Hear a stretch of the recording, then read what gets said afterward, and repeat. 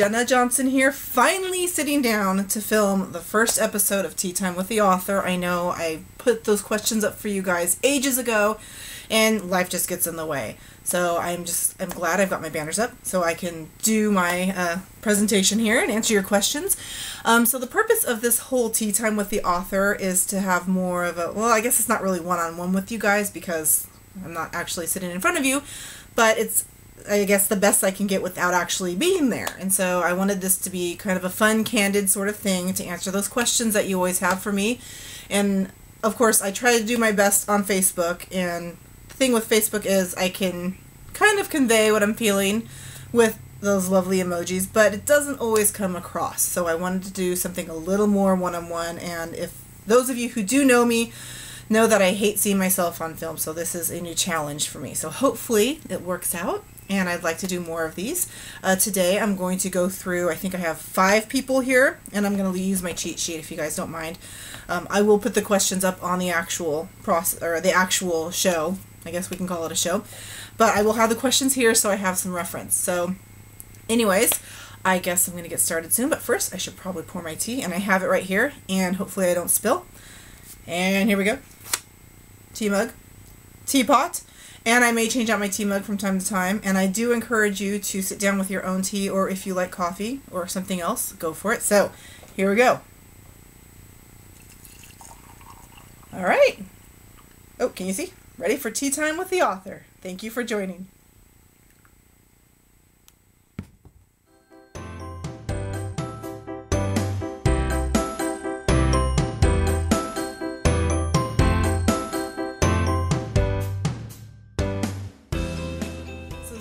Question is about setting and if I base my setting on any place that really exists. And my answer for that is absolutely. And this goes for all of my series. Well, I only have two right now, but of course I've got everything that I'm kind of working on in the background.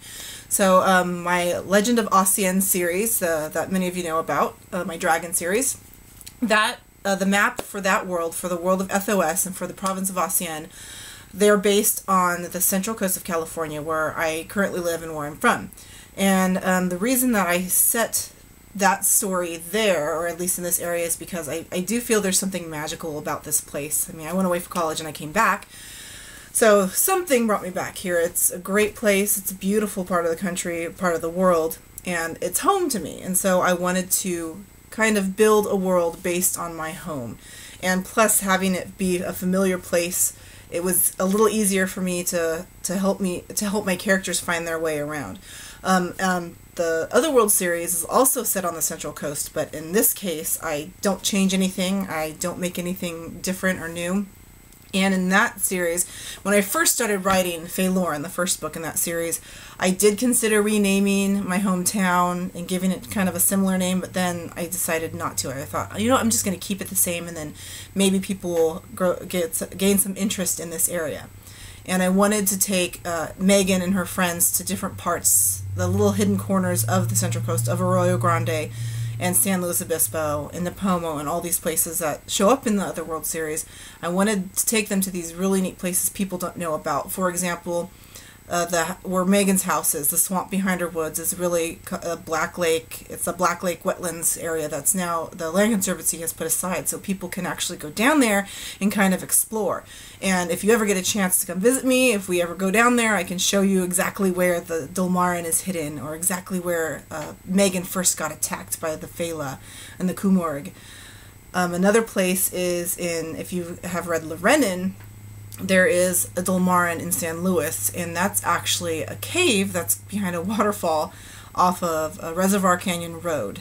And so that place also does exist. So I thought it was fun to kind of take what I already have, what we already have here on the Central Coast, and bring some magic to it and something that people can rec recognize here or people who have visited. So I do like to take places that actually exist, and I think it helps when you take that as a base to build upon it and it gives you somewhere to start. And of course, there are places that I totally built from scratch. Um, Islay, the world in the other world, is kind of it's based on Ireland. Most of you know it's based on Ireland and Scotland, at least the feel and the, and the geography. But the map itself that I created was kind of just organically created, just on its own. And some of the other places that are, exist as well, like Firion. I just cre- just recently created a map for Firion for a Flame and Form, and for the the Dragons of Firion series. That's a kind of an offshoot of the Otherworld series. So those are a little more different, but uh, I will tell you, Firion, I did take the the map of Iceland and I kind of flipped it around and used that as a base. So again, you can see that I am basing these areas on places that do exist. So I think it does help, and it also helps give it helps to give me a place to start um, if I'm not quite sure what I want to have in that world. So, yeah, I like to use places that exist in my settings. Thank you for the question, Xavier.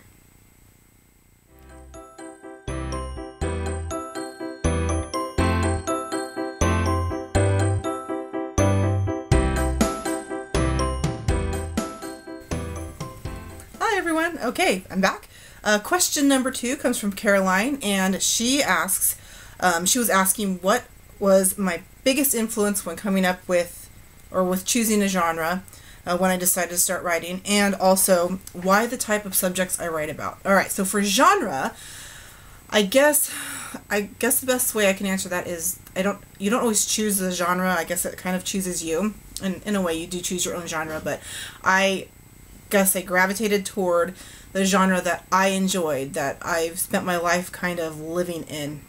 And so when I first actually sat down to start writing, it was my senior year in college, and I had my sketchbook out. I'm an art major, so I had my sketchbook out, and I was looking through the sketchbook, and I realized all these different little extra things I had drawn in there were characters and and maps and ideas for a story, and it just hit me instantly. I wasn't one of those kids who grew up saying, I'm going to be an author when I grow up. I didn't realize this until later in life.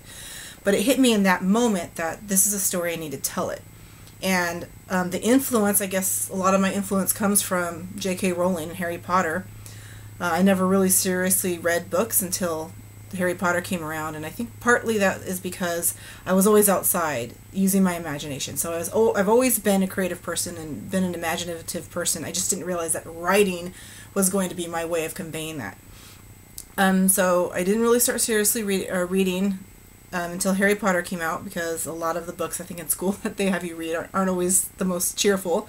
So I finally had a chance to sit down and read something that I enjoyed, and and fantasy has always been something I've liked. Um, growing up, I was a huge Labyrinth fan. Uh, Dark Crystal, anything like that, any of the fantasy movies. Uh, the Princess Bride is one of my favorites, and Lord of the Rings trilogy, when that became a series, a movie, that was just phenomenal. Um, so I've always enjoyed fantasy. Oh, Dragonheart's another good one. Um, those of you who have read the Ossian series, uh, Humbra, my uh, dragon, my um, dragon Humbra, is heavily based on Draco from Dragonheart. And so I've always enjoyed those fantasy series. And so I think, and I don't know if that's something that I was born with or just something that happened as I grew up. That's what I was exposed to. So that's where I kind of headed when I was ready to start writing. As for uh, second part of the question, oh, the subject matter. So a lot of my books deal with younger characters or characters who are maybe not the same as the others, the characters who are different, kind of finding themselves and standing up for the different things that maybe kind of keep them from doing what they want to do. So bullying's a subject that I kind of go into in the Ossian series with my other world series as well. There's a little bit of that going on because most creative people go through that as they're growing up because they're not like the other kids and we're kind of hard to understand and we have trouble understanding society sometimes. So um, definitely bullying just because of my own experience. Um, strong female characters, uh, Jera for sure, um, because I was raised to believe that girls can be just as, as strong as boys. I was a shot put and discus thrower in high school and college, so that kind of helps out. And so, um, and inclusiveness also, and diversity. And that's a big thing for me as well because, again, I think creative minded people are a little more open minded. We have a different way of seeing things. We are often putting ourselves in other people's shoes and going living through their experiences and that's also how we are how we are able to be writers is we're able to take on these different personas so all the subjects that i kind of cover in these books are things that i've experienced or things that i think about or things that i see in the world that i think maybe need more attention or a little bit more um, experience well not experience but maybe a little more light shine shown on those areas so that's why I picked those subjects. Um, love is in there. Love is always a good thing. Friendship is always a good thing. And I try to stay positive. I know that some bad things happen in my stories, but the world has some bad things happening in it as well. So I think it's good to approach those subjects and give my readers, whether you be young or older, um, ways to deal with that, with the escapism. And, and that's what I look for in, in my books as well. So thank you, Caroline, for that question and uh, both of those questions, or all of those questions, and hopefully those are good answers for you guys. All right, thanks.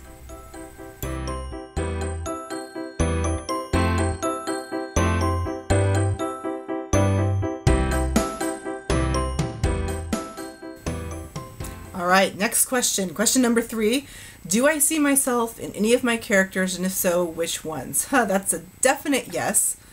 Um, I think, as a writer, I think all of us have a way of kind of writing ourselves into our characters because our characters live within us. So yes, there there are always going to be little things that our characters are connected to us in some way, shape, or form. Um, I think I recently told someone we're kind of like high functioning uh, schizophrenics just because we have all these different personalities going on, but yet we're able to function at some level in society with everything going on in our heads. So I would say there's probably a little bit of me in every single one of my characters maybe more so than others. Some have more than others. And i don't i can't always necessarily point that out to people but so people who know me might be able to say oh yeah this this character is, is like you in this way shape or form. Um, but which ones definitely the one i can definitely say is, is a lot like me is Jera. And I think the reason for that is because The Finding, the first book in the Ossian series, was the first novel I ever actually wrote. And so Jera is a lot like me. We have the same hair color. We have the same eye color. Um, she's a tomboy like I was. Um, the only difference with Jara between me and Jara is that she's a lot braver than I was as a kid. I'm an introvert, and just the, the things that she's done, just I, I probably never could do, just because I'm not as brave as Jara is. So she's definitely a reflection on me, and a lot of, of her experiences actually with the twins, with uh, Edith, Edith and Elysian, are real life experiences I had when she was that age, or when I was the age that she was in the book, going through. Of course, I've changed names, but um, just real life experiences that I had gone through.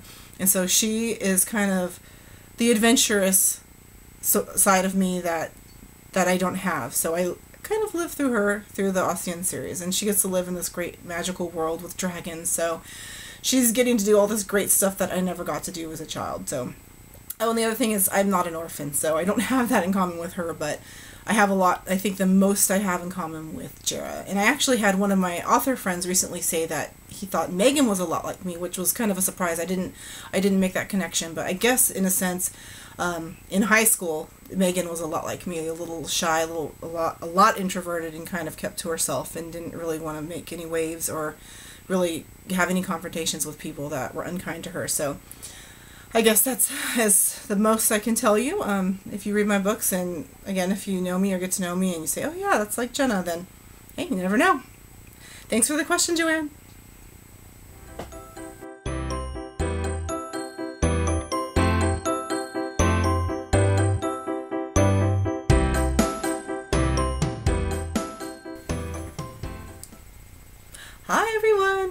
Right, question number four is from Alexandra. And Alexandra has quite a few questions here, but we can cover them all. So, do I listen to music when I write? Uh, if so, wh- where does it take my muse? And what do I like to listen to when I'm not writing? So, nine times out of ten I am listening to something when I'm writing, unless I'm really in the zone. When this happens when I open up my laptop and I'm getting iTunes set up or getting iTunes open and trying to open my files. And if iTunes is taking a little long and my characters are really talking, I might dive right in and then kind of forget that I opened my music and just kind of go with it. However, if I have my music going, I typically listen to soundtrack music. Um, I have Lord of the Rings on there on my soundtrack music. I'm a big Sherlock fan, so I have the Sherlock soundtrack. Um, anything Celtic based that doesn't have lyrics. And I believe I probably also, I do actually have the Twilight soundtrack on there as well, because it's great soundtrack for writing. Um, I don't like lyrics because I will start to sing along to the lyrics if I'm not 100% focused, and so I like just the background music. Plus, it kind of sets almost like a soundtrack for my books, and I can kind of see them as a movie as I'm sitting and writing. And so, anything, those soundtracks, um, anything instrumental that's Celtic or kind of epic, depending on my mood. Sometimes I want something more epic to write to, something maybe sometimes a little more somber. So it depends on the, the situation. Um, what do I list, like to listen to when I'm not writing? Well, nowadays I mostly listen to audiobooks. I have a new obsession with audiobooks. Well, it's not that new. Um, so I'm listening to audiobooks when I drive to and from my day job, um, if I'm doing tours, that sort of thing. But some of my favorite genres of music are classic rock, so Eagles, um, some of the Beatles. I'm a big Jackson Browne fan. If any of you have heard, or listened to Jackson Browne, Another um, one Americana um, musician is uh, Robert Earl Keen, who has great music. And then those are probably my favorites if I'm listening to, if I'm actually in the mood to listen to music. But I've really not listened to any kind of lyrical music for a long time now because I'm usually writing or I'm driving to and from work and listening to audiobooks.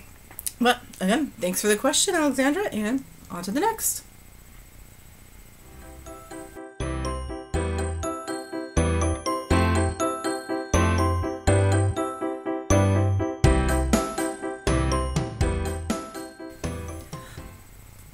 All right, readers, last question for this episode, and it's from Neela. I hope I'm saying that right. And Neela wants to know what is my favorite snack or drink while writing? Um, do I outline the whole story first or go with it? And where is my favorite place to write? So, three questions in one. I think I can get them all. Favorite go to snack drink? Tea for sure. Hot tea. Um, this is actually the Queen Victoria blend, and it's I get it through Cafe Moto, which is out of San Diego and I discovered this blend at a little place called Penelope's in Lompoc, which is about a 40 minute drive from here. It used to be a tea house, but they closed. Horrible day for me because it was a wonderful place, but I was able to get the name of the tea that they served that I loved. It's a black tea blend with um, a little bit of jasmine in there. It's really good, and I drink it with honey. I also like other teas, uh, the black teas. Um, this is loose leaf, but I also like um, PG Tips. Um, Barry's is Irish and I can't think of it right now, of course, but J.K. Rowling's favorite tea. I found out she posted it on Twitter because someone asked her, and I looked it up and I ordered some, and it's really good too. And maybe next time I can give you guys the name of that, but I have some somewhere in my house. But uh, definitely hot tea. Um, it's my comfort food. Sometimes if I'm feeling under the weather, just smelling tea will make me feel better. So I clearly have a problem, and I should probably live in the UK, maybe someday. So tea for sure, and then of course I if I have chocolate around. I mean, who doesn't like chocolate? It's great stuff. Or just other little things, crackers, that sort of thing, or anything that goes with tea. Um, if I'm writing, or nothing at all, but if I have something, those are usually the things that I have. Um, next question is Do I outline my whole story or just go with it? All right, so in the author world, in the writing world, you have terms for people who are pantsers or plotters. And pantsers are the ones who sit and write by the seat of their pants. The plotters are the ones who sit and write out the entire plot and figure out the get the outline down before they get the story writing. And then there's those of us who are in between. I'm kind of a plantser. Depends. It all depends really on the story and what my characters are doing. Um, I'm a very disorganized person, and so I think that my characters are disorganized and my way my writing's very disorganized as well. I guess you could say that. I don't write from beginning to end. I jump all over the place depending on which of my characters are speaking to me, and what's going on. But sometimes I will sit down and I will kind of do a little bit of an outline. And then I'll go away from it if my characters are talking, write down what they're writing or write what they're saying, and then maybe go back to the outline. So I go back and forth, and it really all depends on what's going on, what scenes are going on. For example, for my Ossian series, one of the very first scenes I ever wrote for The Legend of Ossian was toward the end of book two, uh, the end of the beginning. There, there is the race. Those of you who have read it will know what I'm talking about. The race up the, it's called Devil's Slide here, but I think I call it Demon Slope in the book, and it's the the horse race or the Semequin race up the the sand dune, and that was one of the first scenes that came to me when I started, when I actually sat down and started writing the Legend of Ossian series. And so I'll jump around all over the place, and that might be why it takes me so long to write sometimes. And it is kind of tedious going through later and piecing it all together, but I'd rather be writing what's going on now than sitting and waiting for it to come to me in the order that it needs to come to me. So that's how I kind of do it. I do it both, both, I guess, plotting and and just writing, depending on the mood. And then finally, favorite place to write. Um, I like to write at home if I can, but sometimes there's so many distractions here with all the pets and TV and everything. So I used to go oh, years ago when I was still working on the, the Other World series, and, and Loren for sure. I remember writing Loren a lot. I would go into Starbucks, to my local Starbucks, and back when I was working mornings, I would go in at 5 in the morning sometimes and just sit there and write and right, right, right, right, right. And that was good because it got it got me away from the house. It got me out, away from the distractions. And once I got there, the only thing I really could do was write or waste time on the internet. But fortunately, I focused, and I was able to write. And nowadays, I've just recently started going, and recently, as in the last few, like the last month, started going into Panera Bread, which I am discovering is a great place to write because there. When I went in there the other day, there's not that many people there. There's a nice sitting nook. There are places to plug in, uh, to plug my laptop in, and they have good food. If you guys have gone to Panera, if you haven't, you should go. Good stuff there. So, and I also spoke to them about having um, my writing group go in there and do write-ins. And so I'm going to hopefully be starting that up soon where we go in once a week or once a month to each location and, and of course try to do write-ins once a week. But um, I think getting out of the house is a good thing for a lot of writers because we just have too many distractions here. But yeah, those are my places to write. And that's it for today. So I want to thank everybody for all the questions, and I'll see you later. All right, everyone, that's it for now. I want to thank you all for watching this first and I guess, maiden voyage episode of Tea Time with the Author. I want to thank everyone who took part and asked me these questions a long time ago, months ago, and thank you for your patience, and hopefully you'll get to see these. And hopefully I've provided some information for you guys and you've enjoyed this first episode, and I'm going to try to make the next one a little bit sooner than later. So again, thank you for joining me. I'm going to top off my tea here. There's still some left. There we go. And then until next time, happy reading. And again, if you're new to my books, to my writing, um, at the end credits, the, there'll be some information about where you can find out about my books. Uh, oh, remember the Finding, the first book in my Ossian series, and Faelorn, the first book in my Otherworld series, are always free where ebooks are sold. So be sure to check those out. Thank you for joining me. This is Jenna Elizabeth Johnson signing off.